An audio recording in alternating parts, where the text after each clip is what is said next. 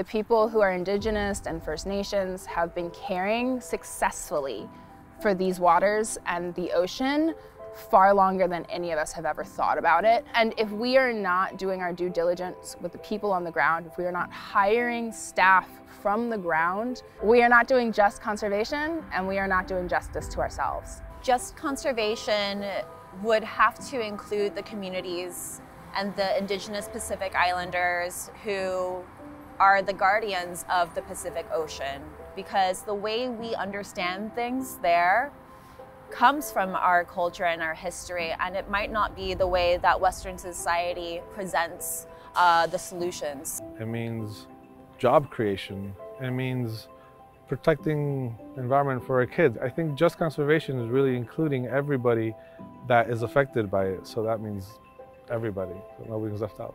Clean water, um, access to, to, to beautiful natural resources. Just there's so many things that are immediate needs, and I would like to see a just conservation effort centered in meeting those needs.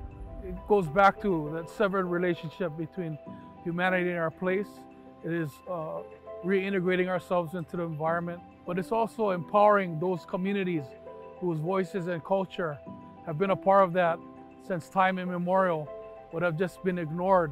Just conservation engages with communities at, at all levels, and of course, working with our political leadership to enact policies that advance conservation and that empower people to be involved in protecting the places that are special to us.